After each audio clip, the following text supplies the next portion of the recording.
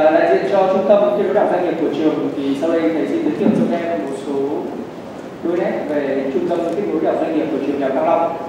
Thì trung tâm kết nối đảo doanh nghiệp của trường đại học Thăng Long được thành lập vào ngày 31 tháng 3 năm 2017 với sự tài trợ của dự án Phát Phong Pro trong khuôn khổ hoạt động Emerus của cộng đồng Trung châu Âu dành cho 8 trường đại học châu Á và 8 trường đại học châu Âu. Trung tâm kết nối đảo doanh nghiệp hiện nay, viết tắt là UEC là University Enterprise Center. Và đây là của trung tâm. Hiện tại thì trung tâm đã có website chính thức là uec.thanglong.edu.vn với nhiệm vụ của website là đăng tải các thông tin về cơ hội việc làm, giới thiệu các khóa học nhằm hỗ trợ sinh viên kỹ năng làm việc và kỹ năng tìm kiếm việc làm, đồng thời là cầu nối giữa nhà trường, doanh nghiệp và các bạn sinh viên hiện tại thì một số đối tác, doanh nghiệp đang là đối tác của trường, đó là thứ nhất là ngân hàng Techcombank, tập đoàn Lavigos Group, ngân hàng UniBank, công ty Honda Việt Nam, ngân hàng Quân đội, tập đoàn TechExpert công ty kế toán Misa. Hai trường đại học đây là đại học kinh tế quốc dân Hà Nội và trường đại học quốc gia Hà Nội đây là hình ảnh trong buổi gặp gỡ các doanh nghiệp nhân dịp kỷ niệm 29 năm ngày thành lập trường vào ngày 15 tháng 12 năm 2017. Bên tay trái hình ảnh của các bạn, đấy chính là hình ảnh của chị Vũ Thùy Dương là giám đốc nhân sự khu phía Bắc của công ty Navios Group. Và đây là hình ảnh của tiến sĩ Vũ Quỳnh trong buổi phát biểu trong buổi à, gặp gỡ các doanh nghiệp. Và đây là một số hình ảnh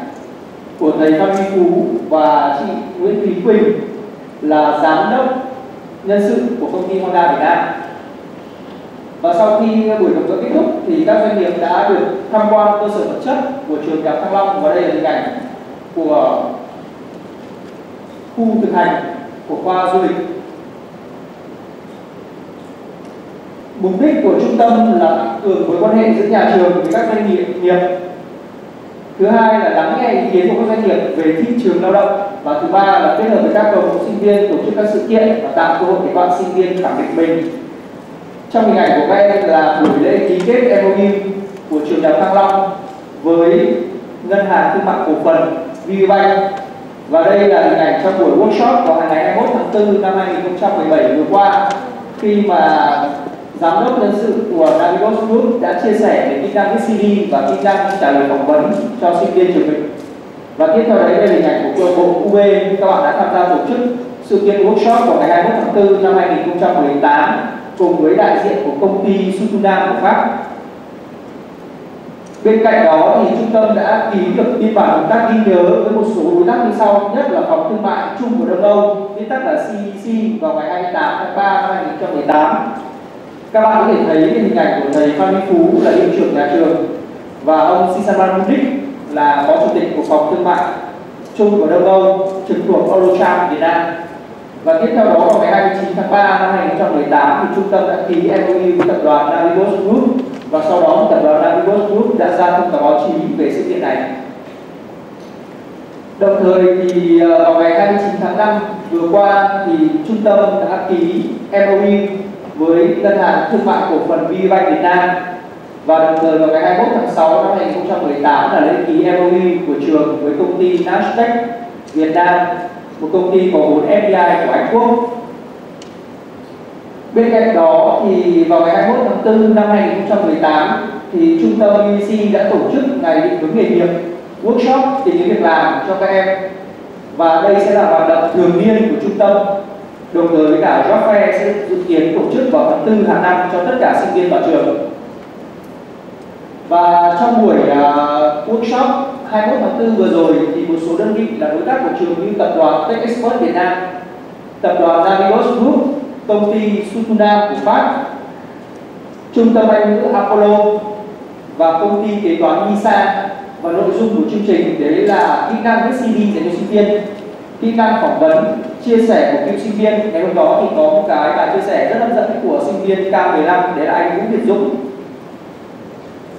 Hiện nay đang là trưởng phòng nhân sự của ngân hàng VPBank tiếp theo đó là chia sẻ về khóa học Architect Academy của tập đoàn Tech Expert. Và cuối cùng là khả năng phỏng vấn bằng tiếng Anh của trung tâm Anh ngữ Apollo. Và đây là một số hình ảnh trong buổi thi hướng nghề nghiệp. Mục đích của buổi nghề nghiệp này là tăng cường nhận thức về nghề nghiệp và hỗ trợ kỹ năng tìm kiếm việc làm cho tất cả các bạn sinh viên vào trường. Về nội dung gồm có thứ nhất là sẽ hướng dẫn các bạn viết CV, cách thức các bạn đi trả lời phỏng vấn và chia sẻ với cựu sinh viên và đưa ra các chương trình tuyển dụng của các công ty. Về kết quả là khoảng hơn 300 sinh viên đã tham dự và có 143 bạn trả lời khảo sát. Các bạn sinh viên đều khẳng định sự kiện mang lại cái lợi ích và mong muốn những sự kiện tương tự trong tương lai sẽ được tổ chức. Bên cạnh đó thì uh, trung tâm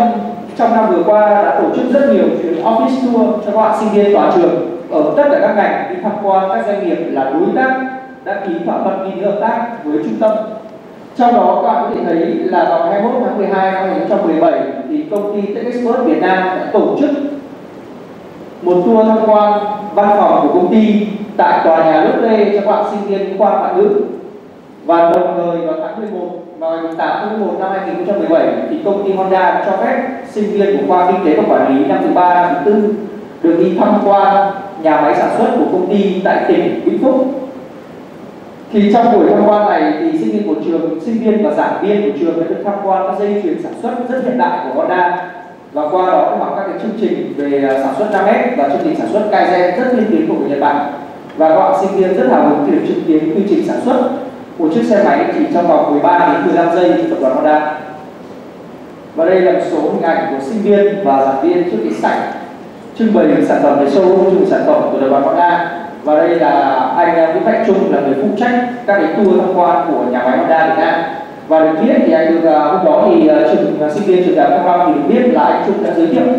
là tất cả các bạn sinh viên khi ứng tuyển vào Honda thì chỉ cần có bằng đại học và không phân biệt chuyên ngành để có thể ứng tuyển vào Honda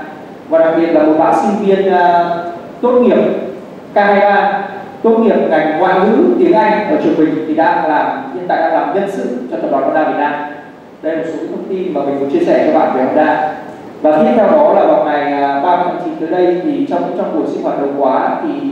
giám đốc nhân sự của tập đoàn Honda Việt Nam sẽ đến và có buổi chia sẻ cùng với tất cả các bạn sinh viên khoa tiếng Nhật.